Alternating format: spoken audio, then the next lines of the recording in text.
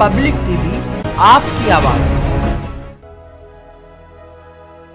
उत्तर प्रदेश के मुरादाबाद में आज भारतीय जनता पार्टी के जिला पंचायत अध्यक्ष पद की उम्मीदवार डॉक्टर शैफाली सिंह को जिला निर्वाचन अधिकारी निर्विरोध जीत का प्रमाण पत्र देकर जिला पंचायत अध्यक्ष घोषित किया। डॉक्टर शैफाली सिंह निर्विरोध जिला पंचायत अध्यक्ष चुनी गई।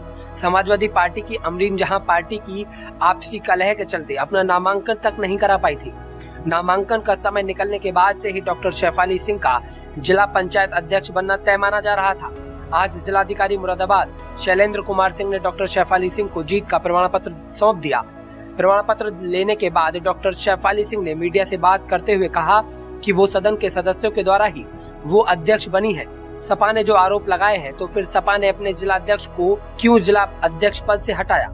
पहले वो अपना सियासी कलह दूर करे। मुरादाबाद जिला पंचायत अध्यक्ष पद की उम्मीदवार डॉक्टर शैफाली सिंह निर्विरोध अध्यक्ष चुन ली गई है।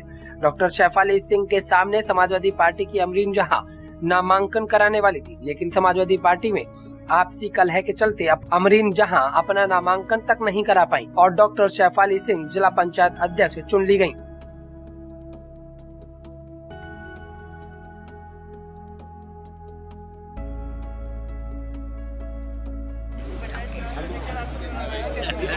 बहुत ही हर्ष का माहौल है, बहुत ही उत्साह है और सबको बहुत अच्छा लग रहा है। जी? हमारी रणनीति यही है कि हम मुरादाबाद की जनता के लिए कार्य करें। मुरादाबाद की जनता ने इस सदन को चुना है। ये उनतालीस सदस्य मुरादाबाद की जनता का विश्वास लेकर आए हैं और मुरादाबाद ज़िले की जनता को हम ये विश्वास विकास के रूप में लौटाएँ।